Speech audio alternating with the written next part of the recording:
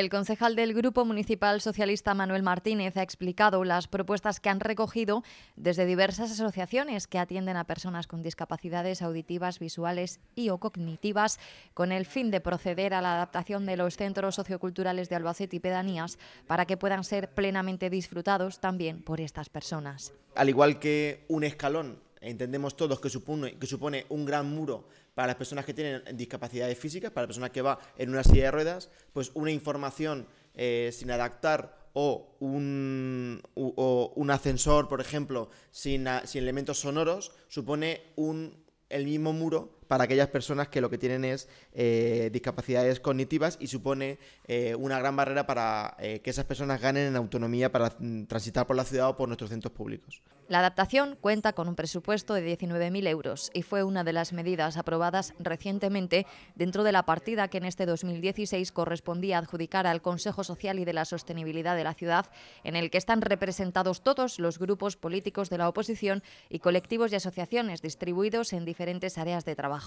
Así, para este apartado de la adaptación de los centros socioculturales albaceteños, 25 en total contando los de las pedanías, se ha acordado... En cuanto a la discapacidad auditiva, se propuso la instalación del sistema denominado como bucle magnético, que es, una, un dispositivo, un sistema de comunicación para personas que utilizan audífonos, que lo que hacen es eh, em,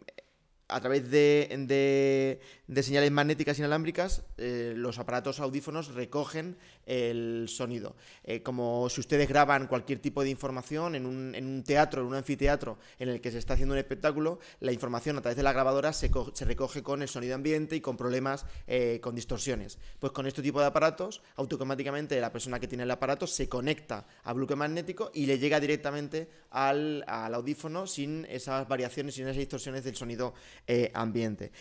En cuanto a la discapacidad visual, se nos propuso eh, que sí que se, extrapola un poco de, los centros culturales, que son los, conocidos eh, semáforos con dispositivos sonoros que avisan del paso o no paso de los, de los peatones, pero centrándonos en los, centros culturales se nos solicitó la, adaptación de las zonas de ascensores. Eh, está bien la instalación de ascensores porque facilitan el tránsito de personas con discapacidades físicas, pero si los, los, ascensores no tienen, eh, no están adaptados para, para personas con discapacidad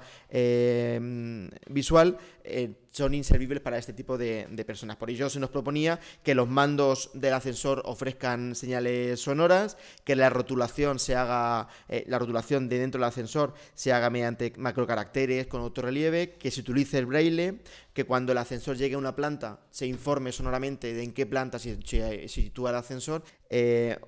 en cuanto a la discapacidad intelectual o a, las distorsiones cognitivas, se nos pedía la, implantación de caminos eh, adaptados en los centros a través de lectura fácil y pictogramas. Esto es eh, tremendamente sencillo y en la instalación, junto a los carteles informativos que distribuyen las áreas de los centros socioculturales que todos vemos a la entrada de los centros y en las puertas de cada una de las áreas, eh, se instalen pictogramas que, que, faciliten la comprensión y la autonomía de personas, por ejemplo, con trastorno autista, con eh, Parkinson, con Alzheimer o con cualquier otro tipo de distorsión cognitiva que hacen que eh, eviten esas distracciones o, esa, o que puedan ubicarse mejor en los centros socioculturales. Estas propuestas han sido trasladadas ya al equipo de gobierno junto al nombre de las asociaciones que han hecho cada una de ellas, con el fin de que puedan ser puestas en marcha lo antes posible, como primer paso de una mayor accesibilidad a todos de un Albacete que después, y tal y como ha concluido el edil socialista deberá ir asumiendo otros retos en este sentido en otras zonas de la ciudad, como por ejemplo las propias calles.